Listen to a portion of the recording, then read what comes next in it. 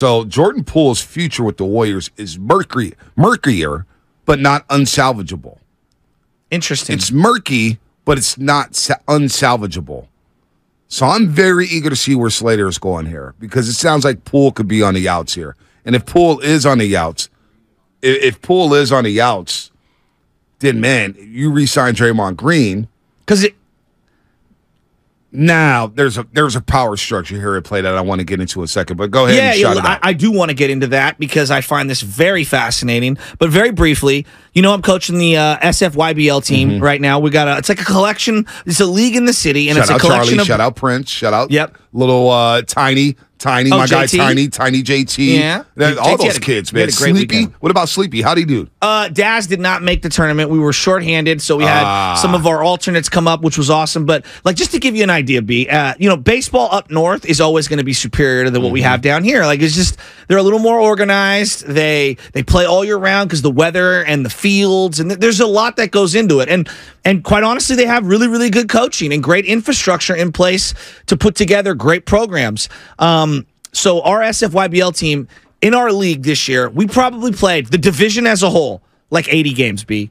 We were playing Right. teams that played 60 games. These teams, Yeah, that's insane. 60 games, but they're really, really good. So our team goes up there on Saturday. Because of run differential, we got dropped to what would be the silver bracket, the losers bracket. We ended up winning on Sunday. We get into the championship game. We play Woodland. We actually played a team from Richmond, and I want to give a shout out to Coach T. He's doing great work with these young men. He's he uh, practices out at Pinole. Coach T plays the game the way I appreciate the game being played, and he's out there right now. Hopefully, he's listening. Great dude, great program. It was great to see like an, a real urban team out there balling. Like this Yeah, dude is out there cool. putting in the work for baseball in the city of Richmond, and I thought it was awesome to see. Got to watch uh, Hardball, Dude, Got to watch Mar- bo- go watch the movie Hardball with Keanu Reeves. I I said to one of the dads, I go, that coach right there, Coach T, that's the kind of guy I like. Like you, you, your kid is lucky Right. to be playing for them. So we ended up playing them uh, in the in the semifinals. We go into the championship. We played Woodland, and this team from Woodland was awesome. The Lobos. We ended up losing nine one, but our guys got second place. And for a city team cool. that just got put together, I was so proud of them. That's I mean, We played so well. Vines was hitting bombs. Charlie making plays at shortstop. Your favorite. JT behind the dish looked awesome.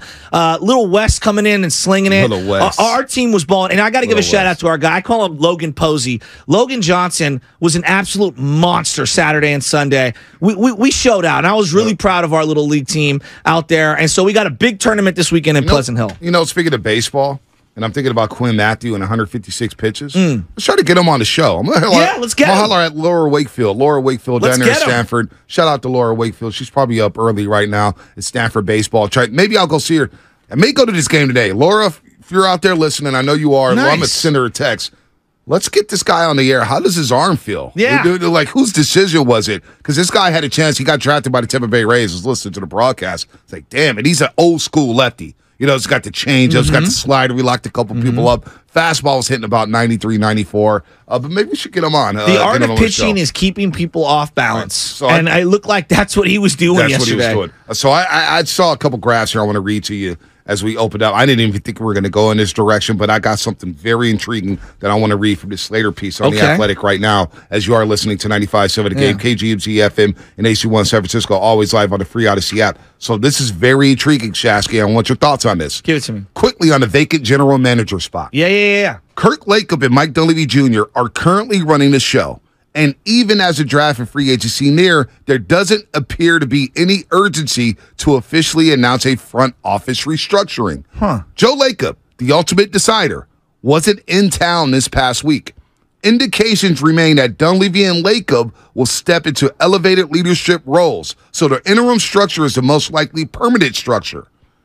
That's relevant. that's interesting. Kirk and Dunleavy were influential voices within the established front office that gave Poole that hefty contract extension last October. Dunleavy was a scout before the 2019 draft. He saw Poole at Michigan and was a prominent uh, was a proponent of taking him 28th, adding some playmaking skill and creation to a roster that needs it around Stephen Curry. They maintain belief in Poole through his early career struggles, rewarded his breakout and have shown no indication that a turbulent couple of months will change their overall opinion on the 23 year old's future. One point that's been made you can't argue that he's unable or unready to be a high level contributor to winning NBA basketball because he's already done it on the biggest stage for a title team with this exact core. So, first of all, Let's start with the GM. Let's start with the GM stuff. Kirk Lacob, Mike Dunleavy Jr. are currently running the show. Does that concern any Warrior fan? Do you feel good about that? That they're going to maybe be elevated to this position here?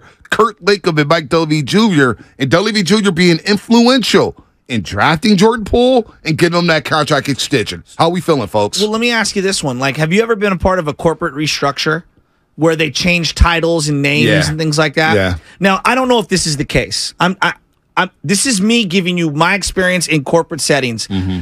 I have been in situations where someone leaves a position. And maybe they were planning on corporate restructuring anyway, but they changed names and titles and they kind of change the hierarchy of the organization.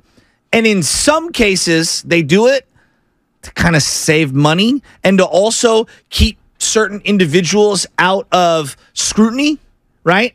And maybe you try to make it more collaborative or more committee based as opposed to individualist based. And you do that for a variety of reasons. Now, I'm not saying that's because he's trying to be cheap. That's people are misinterpreting what I'm saying. I'm I'm saying that like we look at this and like, you're the GM and you make all the decisions and haven't we kind of seen this in sports where it's trending and I'm not caping up. Collaborative uh, decisions. well, like like the Niners. Are we certain? I think the GM currently is John Lynch. That's Yes. his title. Or he could be the president of football operations, the exact title. John Lynch. Do you get where I'm going? I get where you're going. Right, like like right now, Farhan is kind of the president of baseball ops, And but the he runs everything. and the GM's Pete GM's the guy. Yeah, yep, exactly. right, but we all think that the buck stops with Farhan. Right. He makes the final decision. So does it really matter if they name a particular GM, general right. manager? No, it's who's going to be making the decisions. And it sounds like the Lacobs will get a little more power in the decision making without Bob Myers. How does that make? How does it make Warrior fans feel? You That's think? what I'm saying. So I think that I'll, I'll be honest with you. I think a lot of Warrior fans are going to pivot.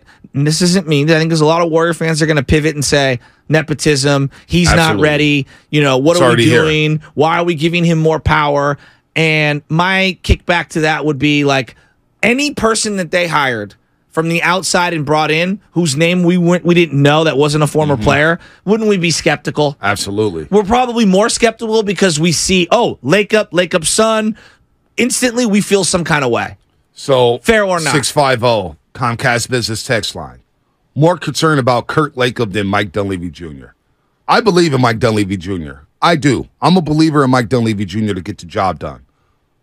I'll say this on the front end. I'm a little concerned if the Lacobs do have a little more power. But they've had a lot of time to to gain experience of running an organization. They've done well on the business side. We all know that. You got the stadium up, you own the property, you're selling jerseys left and right, you're selling out concerts, all that good stuff. But Kirk now having a bigger voice, and he did get tutelage from Bob Myers. Is there any concern if Kirk Lacob and Mike Dunleavy Jr. are the future decision makers of the Golden State Warriors? Again, in Anthony Slater's piece that he just released this morning, get to it on the Athletic. Maybe we get Anthony Slater on before the week is over. Does it, does it make it more easy or less easy if it's a committee that's making decisions on I don't know. on movement? Who's the final decision maker? Who's the guy who says we have to take this guy? It That's like, it. Feels like Joe. It feels like Joe Lacob. Uh, so I mean, how, am, am I wrong? how does that make people feel? How does that make people feel? Do I I get the sense, and this is my gut, my You speculation. still got a lot of other guys involved. Well, and yeah. Larry uh, Larry Harris is still involved. How much and that's a good does thing. Kerr have? Yeah, that's a good point. Does Kerr have that juice? Can can can Kerr have that juice with only one year left on his deal? That's a good question as well. I, I keep going back to you know the very rarely does a coach make a great GM because Mm-hmm. a coach wants to win tonight. A GM wants to win for the next multiple seasons, Right. right? Like they're always trying to set their roster up for the now and the future. And so I think at times coaches and GMs, you know, just naturally are going to be diametrically opposed at times when Right. it comes to roster construction.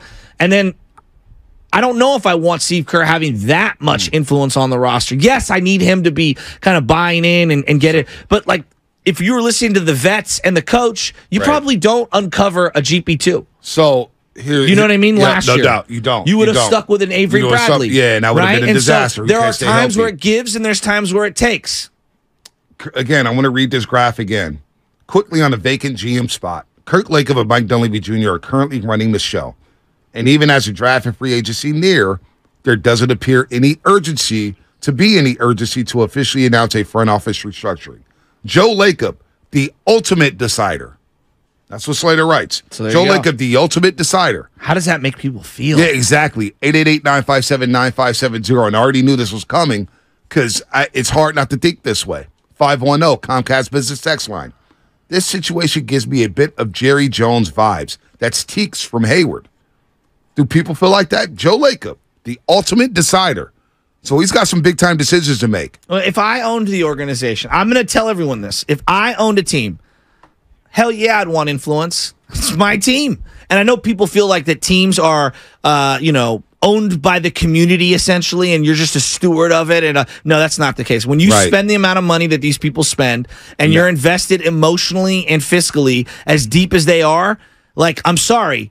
You're going to have influence on your product. Right. So this thing No. that like the owner is not going to be involved is Lake- absurd to well, me. Lacob again. I wish we could pull up the sound here when Lacob joined us in studio a couple right during the, Yes. the championship season from a couple seasons ago. He told us that he's in on every group decision. He's involved in the decision making process. He told us that straight up. Now, was that a problem for Bob Myers? And did that maybe help Bob Myers make his decision to maybe step away because he wants total control and not maybe input from the ownership Well, yeah, group? that's what I'm saying. Like I, I can't sit here and say that I didn't think he had influence on Bob Myers prior to Yeah. Bob Myers leaving. Now this makes it clear Yes. that it makes it a little more clear that boy Bob maybe stepped away because maybe there was too much for the owner. Lubman had a question here before we hit the break. Lubman, what you got? Yeah, I just kind of curious, like when it feels like when did all this kind of like hesitation towards like trusting Joe Lacob really pop up? Because ever since he's gotten here, you know, he's turned. You know, the Warriors were just completely downtrodden when he got here. He's completely flipped them around. That was all under his watch. And now that Bob Myers is leaving, it's all of a sudden like, oh, can Joe Lacob? Can he still run the Warriors? Can he still run the Warriors? He's been doing a pretty dang good job of running the Warriors I- the last ten plus years. Why all of a sudden now are we are we so hesitant about this? Hmm, that's an interesting question there. 888-957-9570. Do you trust Joe Lacob to make the ultimate decision for the Golden State Warriors? And we've got a bunch of decisions to make this all season. Lubman, hell of a question there. Hell of a question. We'll roll with that on the other side.